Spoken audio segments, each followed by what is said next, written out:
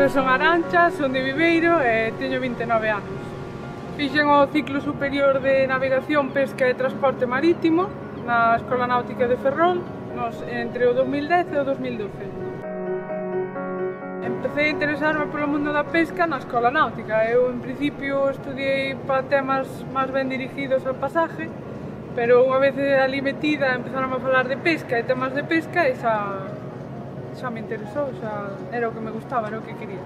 O sea, acabei no 2012, fixen o ciclo, cando acabei, antes de acabar, fixen as prácticas, non atopei ningún barco pesquero que queixa, que quixera levar mulleres, e fixen as prácticas no remolcador. E de aí eh, intentei, eh, cando salí, buscar un barco pesqueiro, eh, non houve forma, durante tres anos máis ou menos. Despois, a través de miña abuela, que conocía un armador, eh, deixaronme facer os días da luna nun barco pesqueiro no Pincho, ou no Gran Sol. Non era a miña idea, pero xa que me daba a oportunidade.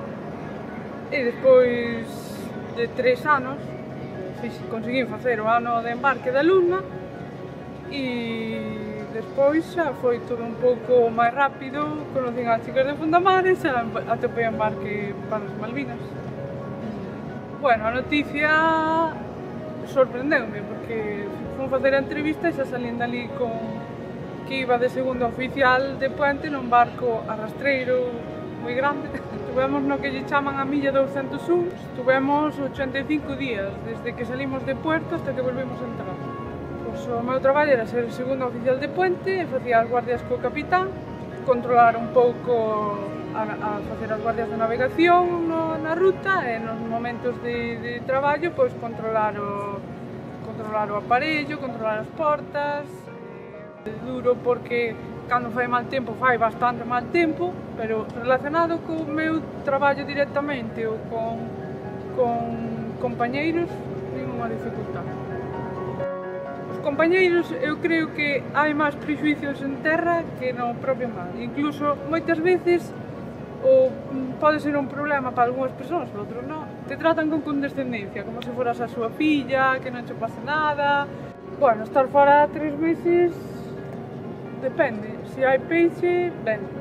Porque ao final é unha cousa que vai, vai rodando e vas, vas vendo Pero cando ves que non hai peixe, que costa encher o barco, os ánimos van decaendo. Hai xente que vota todo ano. Eu creo que mentalmente pois, quedas un pouco cansado, basicamente, mentalmente. Físicamente tamén, pero vas tirando. Pero mentalmente, estar metido sempre coa mesma xente, facendo o mesmo traballo, pois cansa se teño que sacar unha pos cousa positiva de que a marea fora tan larga, pois diría que aprendín máis cousas. Se fora tan corta e só estupar a marea, pois aprendería moito menos. O problema máis grande é o salto de meter mulleres a bordo. Xa cando unha muller está a bordo, nunca atopei problemas. O problema que atopei hasta ahora é xa o momento de do muelle ao barco.